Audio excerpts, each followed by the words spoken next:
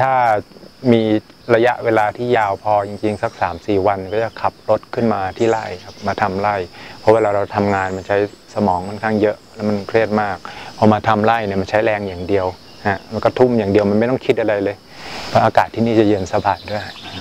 แล้วก็พอกลับไปทีเราก็เหมือนมาชาร์จแบตแล้วก็กลับไปทำงานต่อ ตอนสมัยก่อนเวลาที่ช่วงเราทำงานเด็ก ๆ เราก็ไม่ได้คิดอะไรพออายุเราเริ่มเริ่มมากขึ้นแล้ว มันรู้สึกมันอยู่ในลูปเดิมมันอยู่ในวงเวียนเดิมมันก็เริ่มตั้งคำถามตัวเองว่าเอ้ยแล้วแล้วหลังจากนี้เป็นต้นไปแล้วปีหน้าจะเป็นยังไงอีก 50แล้วจะเป็นยังไง 60เป็นแล้วจะเป็นยังไง ก็เลยหาเหมือนกันว่าเอ๊ะเราจะมีอะไรสำรองที่จะหาทำตอนนี้เราทำตอนเกษียณเพลินกับตัวเองเป็นคนชอบปลูกต้นไม้ ก็เลยคิดว่ามาจะมาทำแปลงที่นี่อยู่มาก็ได้คุยกับคนที่เขา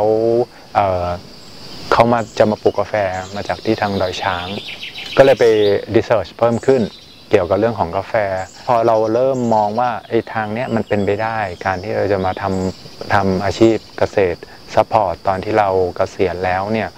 มันเลยมีความรู้สึกว่ามันโล่ง มันโปร่งมากเลยข้อจำกัดที่คิดว่าเราแบบไม่มีคำตอบในบ้านปลาย มันกลายเป็นว่าตอนเนี้ยไม่มีอะไรละ ไม่มีอะไรมาขวางกั้นแล้ว เพราะฉะนั้นชิ้นงานที่ที่เราทำทุกวันเนี่ยรู้สึกเราทำได้เต็มที่มากขึ้น เจองานที่มันยากที่ท้าทายแต่ก่อนก็จะเริ่มมีการลังเล แต่ตอนนี้ไม่ลังเลแล้วยากเข้ามา ขอขอแก้ให้ดูก่อน แก้ไม่ได้ว่ากันอีกทีหนึ่งแต่ขอขอให้ได้ทำก่อน แต่ทั้งหลายทั้งปวงทุกเรื่องมันมีศาสตร์ของมัน มันไม่ใช่อย่างที่เราเห็นว่ามันง่าย พอมาจับทุกอย่างมีปัญหาหมดครับ อันไหนที่เราแก้ไขได้ก็ดี แต่ทุกอย่างอะต้องใช้สติก่อน มีสติ